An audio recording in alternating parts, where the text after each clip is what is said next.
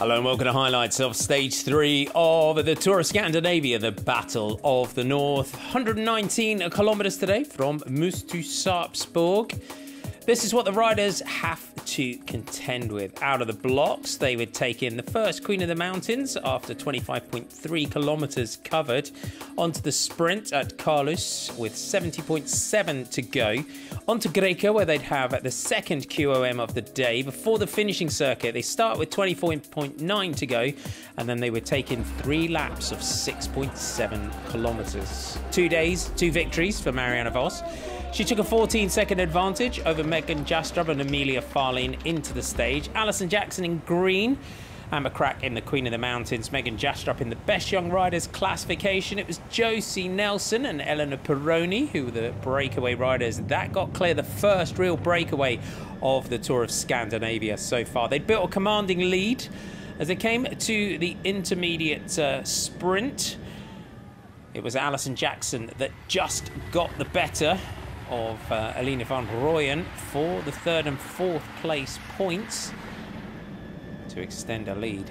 AG Insurance Next G really are throwing everything into the sprints. There was unfortunately a big crash in the peloton just outside 55 kilometers to go, just after Team Bike Exchange had come to the front in an exposed crosswind section and put the hammer down.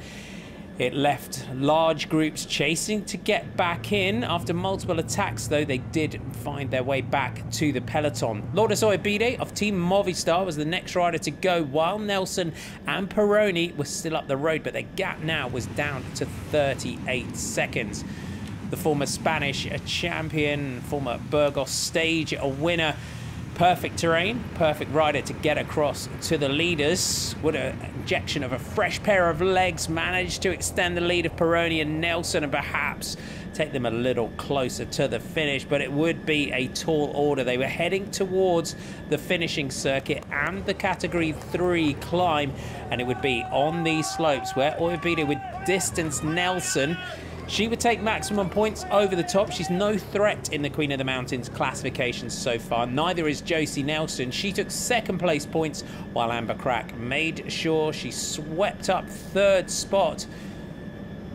The breakaway, though, was in sight. Sofia Bertizzolo with Marianne Vos on the wheel went Oyarbide was swept up. It would be chaos and mayhem all the way. Alice Barnes of Canyon SRAM was the next rider to go when we were here in 2021. Kristen Faulkner of then Team Tibco Silicon Valley Bank managed to outwit the sprinters and hold on for a famous stage victory. Through the line and the next intermediate sprint, Jackson went, took second place points and persisted with her move over the top.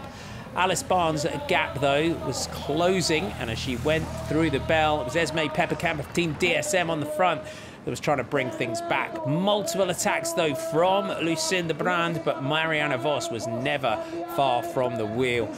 These two riders had done battle in the World Cyclocross Championships early on in the year, where Vos took the jersey away from Brand inside the trees and with the finish line uh, looming. It was looking like a bunch sprint. FDJ Suez Futuroscope were looking to try and lead things out for Cecilie Uttrup Ludwig. Marianne Vos, though, had quite a job on her hands to find her way up towards the front. Uttrup Ludwig went first. And then almost a repeat of her Tour de France Femme stage victory, but this time Marianne Vos came through for her third stage victory in as many days ahead of the Dane while Canyon SRAM's young Belgian Shari Bossuyt crossed the line in third, and that would be enough to give her the white jersey as the best young rider. She had to work hard and go really deep for that victory, but Marianne Vos does it again. Three days, three stage victories, extends her lead overall, takes it from Uttrup Ludwig and Shari Bossuyt. Manly, Verhulstbrand, Bertizzolo, Kastelijn Mackaij, and Tryon, your top 10. Look at that finish. Cecilie Uttrup Ludwig. For the second day in a row, FDJ Suez Futuroscope have to settle for second place, but another storming ride by Shari Bossuyt of Canyon SRAM to take that third spot. Marianne Vos looking comfortable in that yellow jersey.